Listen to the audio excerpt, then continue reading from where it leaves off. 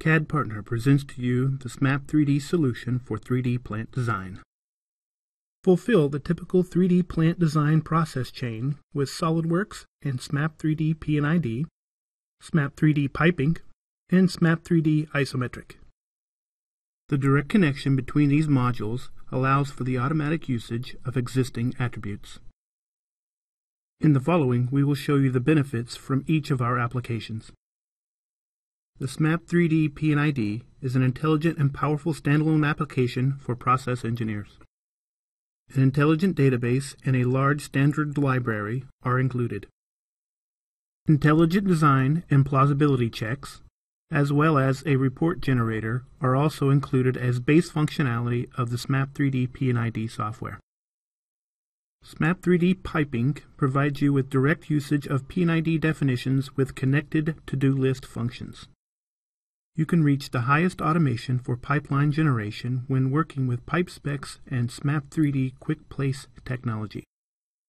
With the included SMAP 3D piping library, you are ready to start. Additional advanced functions are also included.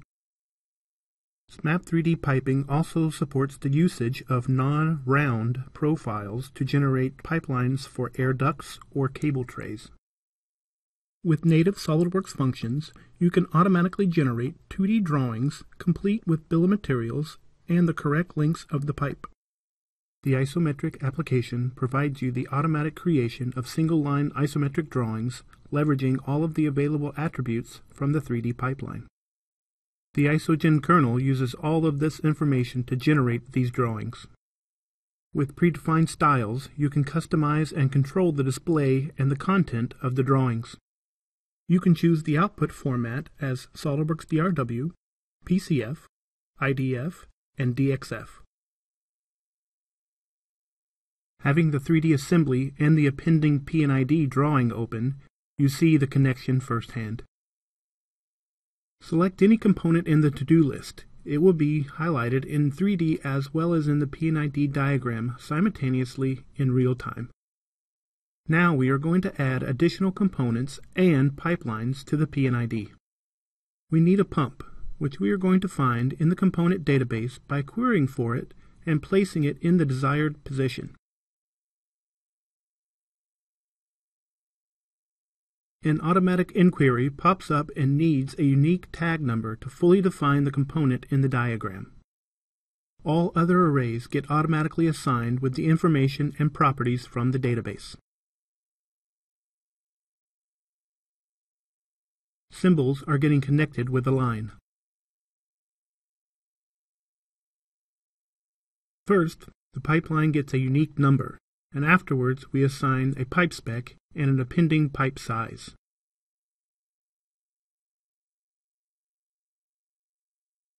Pipelines and connected components which have a flow direction can be turned around by one simple mouse click. We are going to place a stop valve at the heat exchanger. Here, we also used a connection between the 3D pipe spec and the P&ID component database. The assigned pipe spec filters out only the admissible components from the database. In this example, the unique tag number gets created by a function which is automatically generating names. Placing the symbol, it rotates automatically to the line direction. The size of the connected pipes gets automatically written to the symbol. With an additional pipeline, we connect the pump with the tank. The procedure to create and define is the same as with the first pipeline.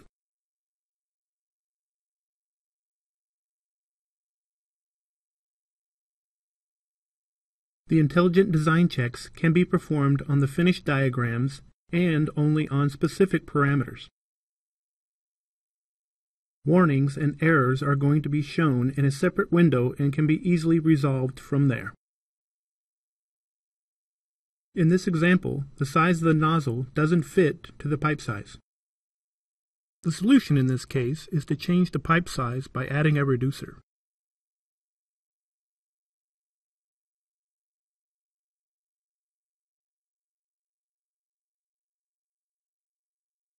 The new value is going to be displayed at the tank nozzle, which doesn't cause an error message anymore.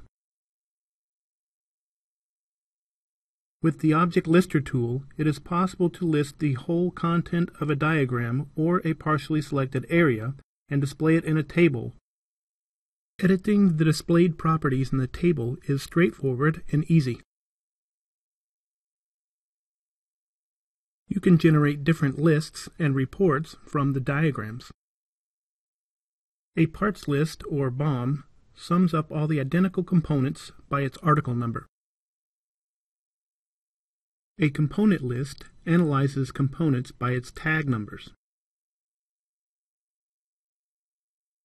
Apart from the usual export options, DXF and DWG, we also have an intelligent PDF export. Along with the visible geometry, you can also see the component properties in the PDF. Once the work in the P&ID is finished, you switch back to your 3D environment. After refreshing the to-do list, the changes from the diagram will be shown.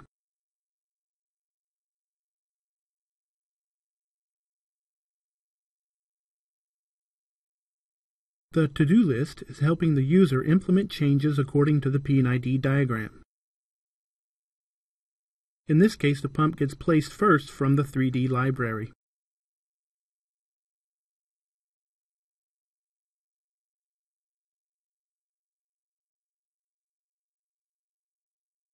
And then we assign the component properties of P&ID to the 3D model. With the information from the P&ID, the 3D pipes are ready to be created. The function from two points helps the user find the correct connection points.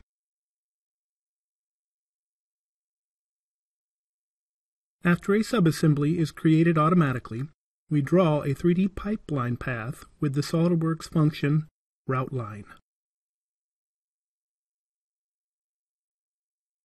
After selecting the start and end point, the run of the path between can be adjusted.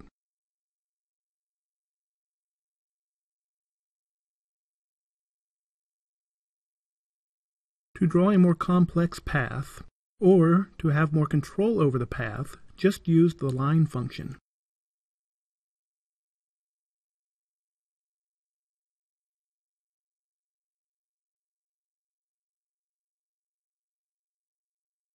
With native SOLIDWORKS dimensioning, the pipeline path can be further defined.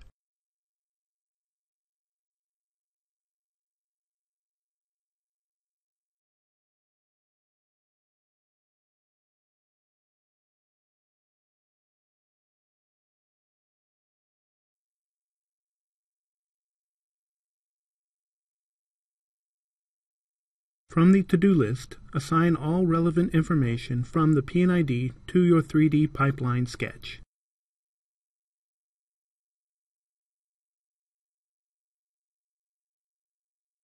With a single click, the pipeline gets generated. In doing so, piping uses knowledge from the assigned pipe spec and takes only admissible fittings from the 3D library and places them on the path. The necessary valve is interactively placed via the to-do list. For placing the valve in the pipe, native SOLIDWORKS mate functions are used.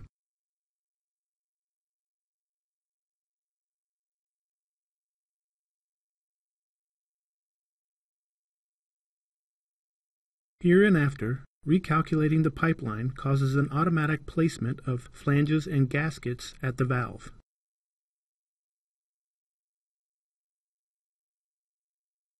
The last open task is to add a reducer to the pipeline.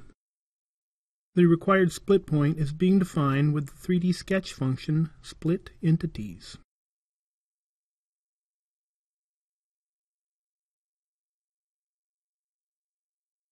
All following steps are queried and automatically processed by the software.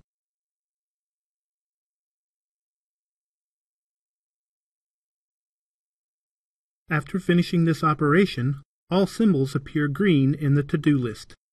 For the user, this means that all information from P&ID is now implemented in 3D. If required, the pipeline can be extended with pure 3D piping functions, independent from the P&ID. In this example, pipe supports are needed along the pipeline. The dedicated function gives you the desired result fast and easy.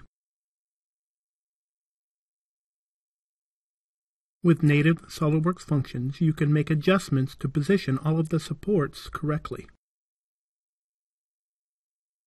Through standard SOLIDWORKS functions, all relevant pipeline parts get displayed.